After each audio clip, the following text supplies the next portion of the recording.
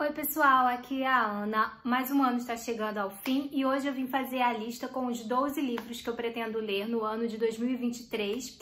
Eu fiz uma lista dessas com os 12 livros que eu pretendia ler esse ano, em 2022, e, né, falhei miseravelmente porque eu não li todos, eu acho que eu li metade mais ou menos, não fiz assim a lista era pra ter feito, mas eu esqueci.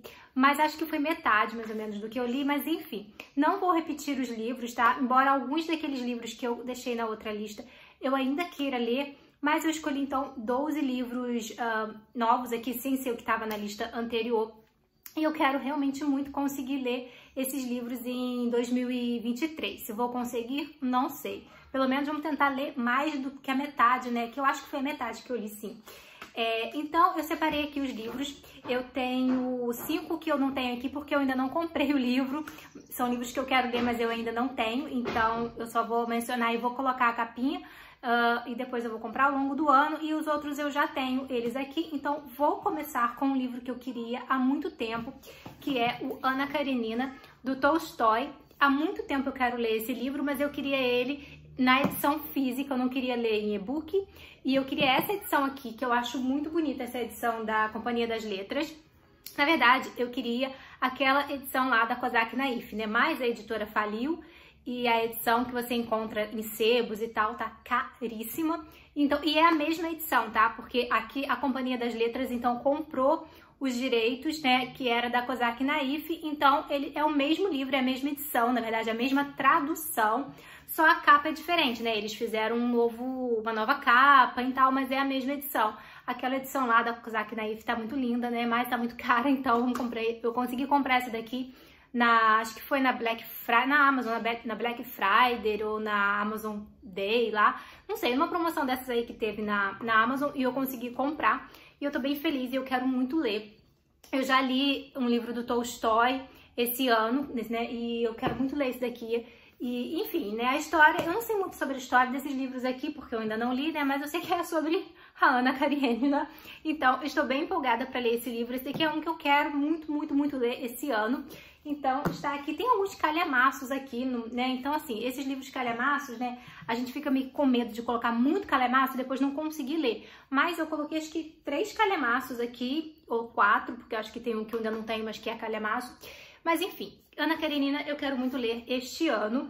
Uh, tem três livros aqui de literatura russa, tá? Estamos na, na fase literatura russa nesse canal. Então, o primeiro é Ana Karenina, já vou mostrar os três logo.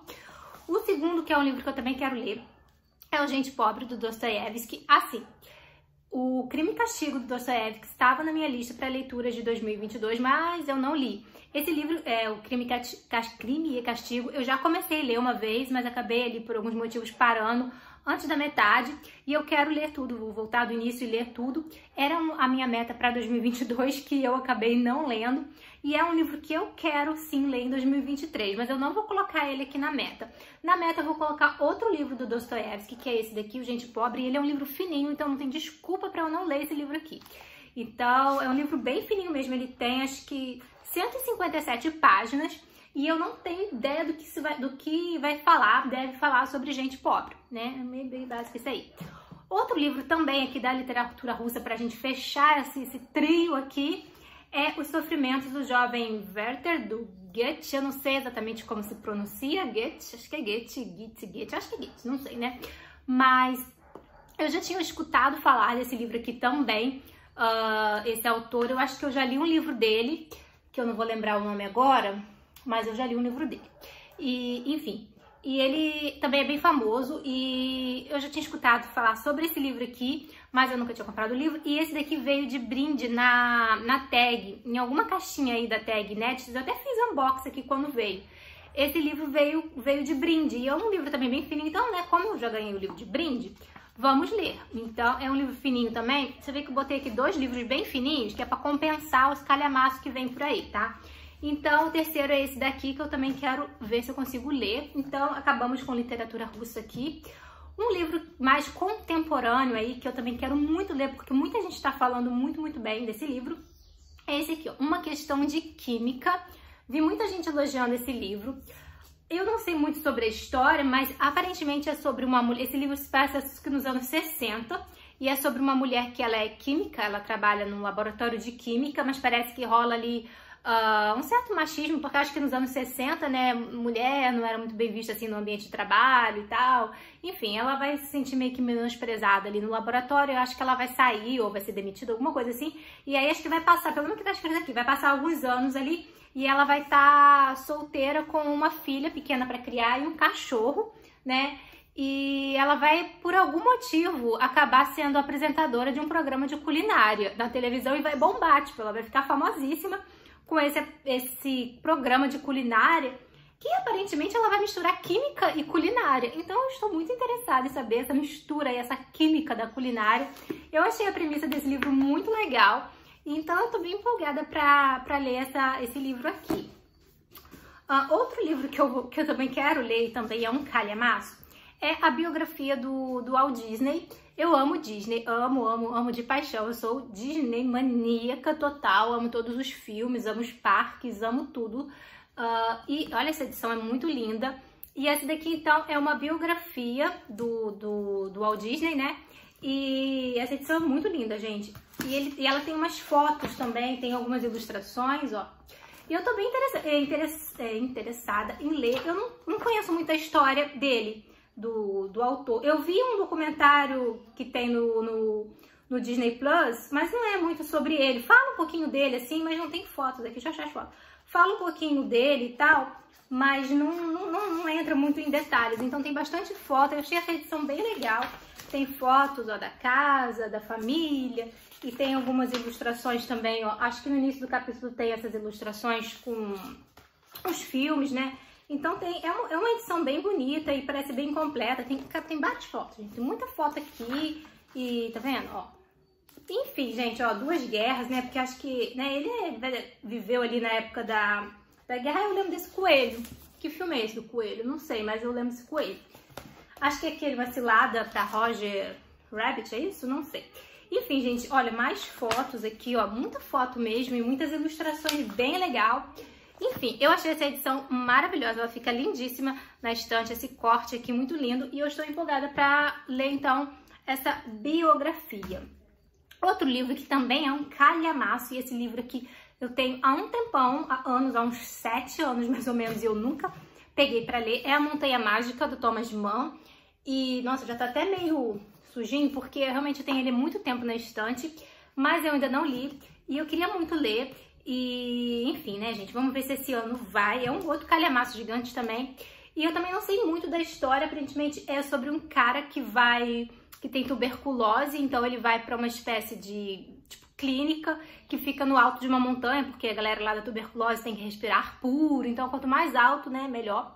Então ele vai para essa clínica, tipo uma clínica, eu acho que é clínica, não sei e parece que fica no, alto de uma montanha e parece que coisas estranhas vão começar a acontecer lá. E eu não sei exatamente se vai pro lado da fantasia ou não, eu não, não tenho muita noção. Eu sei que parece que até as 200 primeiras páginas acontecem que no mesmo dia, tipo, é um negócio assim, então assim, né? Eu acho que deve ser uma leitura, não sei se é uma leitura mais lenta, mas vai ser meu primeiro contato com o Thomas Mann. Também tenho muita vontade de ler os livros dele, já vi várias gente elogiando muito Thomas Mann e eu nunca li. Não sei se a Montanha Mágica é o livro ideal para você começar, mas eu quero muito ler Montanha Mágica, então tá aqui também. O último livro que eu tenho físico aqui, e depois eu vou botar os que eu ainda não tenho, aí eu vou colocar a capinha aqui. O último livro que eu tenho aqui é esse daqui. Ai, meu Deus, tem um adesivo aqui colado, meu pai. Ok é esse daqui da Susan Sontag, Questão de ênfase. Esse livro aqui não é uma ficção. Eu também tô bem interessada em ler. Eu também peguei ele porque ele é pequenininho, tá, gente? Então, assim, é pra compensar a, o calhamaço que eu, os calhamaços que eu botei aqui. A gente bota uns pequenininhos assim pra dar uma aliviada, né? É, eu já ouvi falar muito da Susan Sontag, mas eu nunca li nada dela. Tenho vontade de ler. É, sei que o mais famoso dela eu acho que é aquele da fotografia né? E, enfim, ela tem. E, e, esse livro aqui não é ficção, é o livro de ensaios dela. E eu também tô bem nessa vibe de ler ensaios e coisas com não ficção. E aparentemente aqui ela vai falar, é dividido, tem um índice aqui, um sumário, e é dividido em três partes: ler, ver e lá e aqui. Parece que a parte do ler é sobre, são ensaios sobre literatura. O ver parece que é sobre cinema e o outro aqui eu não faço ideia do que, que é lá e aqui, não sei. Mas enfim, são ensaios, então são pequenininhos e eu tô bem interessada em ler a obra da Susan Sontag, então eu tenho esse daqui, que é pequenininho, e quero começar por ele. Agora eu vou falar aqui sobre quatro, cinco livros para completar esses 12, né? Só que eu ainda não tenho eles, eu ainda não comprei esses livros, então eu vou colocar a capinha aqui, tá? Mas eu quero ler durante o ano. O primeiro é um livro chamado Cidade nas Nuvens. Não sei muito sobre esse livro, mas o que eu sei é que é uma história de meio que de fantasia, eu acho, mas que ele vai se passar no passado, no presente e no futuro. Então, não sei se é um, não é mesmo personagem, mas não sei. Eu sei que é uma história, pelo que eu entendi, é uma história que vai, você vai acompanhar essa história lá, acho que na pré-história ou na antiguidade, enfim, lá no passado, bem no passado mesmo, vai acompanhar aqui nos dias atuais e também vai acompanhar, tipo, lá no futuro, na época lá que, que a galera já foi pro espaço, já colonizou tudo. Então, assim, eu achei bem interessante. Não sei exatamente qual é o tema, mas só de você conseguir fazer uma história que vá do passado, presente e futuro, achei interessante. Então, tô querendo ler. Tô querendo ler também a Sangue, a Sangue Frio, do Truman Capote. Esse livro também é uma história real sobre um assassinato que aconteceu nos Estados Unidos. Um cara lá matou a família toda, exterminou a família ali, né? Um massacre daquela família. É, a sangue frio mesmo, né? Acho que foi tiro, não tenho certeza, mas acho que foi. E daí, então, o Truman Capote, ele foi na cadeia entrevistar esse cara que matou, né, o assassino ali. E ele acabou escrevendo, então, esse livro ali, que é um livro meio reportagem, é, não é ficção, é, um, é história real ali. Ele é um livro meio reportagem sobre esse, esse assassinato que aconteceu. O outro que eu também quero muito ler é de Amor e Trevas, do Amos Oz. Eu também estou bem interessada em ler o livro do Amos Oz. Eu comecei a ler um livro dele esse ano, agora esse mês, na verdade, não terminei, que é do que é feita a maçã, e eu tenho achado bem interessante. E nesse livro do que é feita a maçã, ele fala bastante sobre esse livro de Amor e Trevas, que é um livro de memórias dele, que é onde ele vai contar sobre. Também não é um livro de ficção, tá vendo que eu não estou tanto na ficção. É, é um livro que ele vai falar sobre a infância dele. É, então eu tô bem interessada é, sobre ler mais a literatura do Amos Oz, então quero muito ler De Amor e Trevas. Penúltimo livro da lista é A Amiga Genial, da Helena Ferrante. É, esse livro é o primeiro livro de uma quadrilogia, então são quatro livros. Pelo que eu sei, esses quatro livros, é, que é essa quadrilogia napolitana, se não me engano o nome, acho que é napolitana, vai falar sobre duas amigas e vai acompanhar a vida delas desde a infância até a velhice. Então, nesse primeiro livro aqui, a gente acompanha essas duas amigas, acho que na infância e início da adolescência. Daí no outro já é elas adolescente para vida para adulta, depois é para idade mais madura e o último livro já é as duas bem velhinhas. Então a gente vai acompanhando a vida dessas duas amigas. Da Helena Ferrante eu já li um livro dela, que é A Vida Mentirosa dos Adultos, e gostei bastante, gostei da escrita dela, gosto dessa ambientação na Itália. Enfim, tô bem interessada, já tem muito tempo que eu tô querendo ler esse livro aqui e vamos ver se esse ano vai. E o último livro que eu queria colocar nessa lista é A Cor Púrpura, que também é um outro livro também super famoso, que há muito tempo também já estava querendo ler, mas acabou ficando assim, acabei não, não, lendo. Eu quase comprei esse livro na Black Friday porque ele entrou na Amazon por um preço super legal, mas aí eu acabei deixando passar e agora o preço subiu de novo, então estou esperando o preço baixar de novo para poder comprar. Mas é um livro que vai se passar ali, vai falar sobre a questão racial, sobre a questão dos negros ali nos Estados Unidos. Tem um filme desse, desse livro também bem famoso, um filme antigo. Enfim, gente, então essa foi a lista com os 12 livros para ler em 2023. Espero cumprir, né, pelo menos mais da metade da lista. Vamos a lista toda? Não sei, vamos tentar, mas não sei. Mas enfim, vamos ver o que, que vai acontecer. Então vou ficando por aqui. Beijos para todo mundo, feliz ano novo.